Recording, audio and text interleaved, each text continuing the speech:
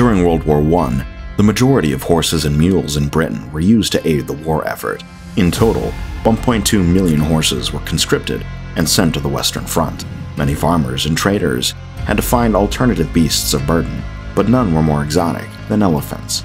Primarily replacing horses, elephants were used to transport weapons and munitions, as well as various machines, as they could carry much more weight than horses.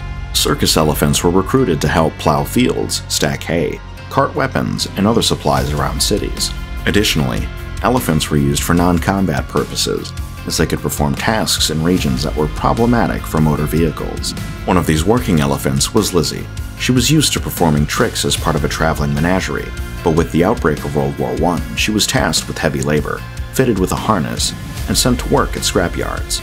To ease the possible wear on her feet, Lizzie was outfitted with a special type of leather shoe.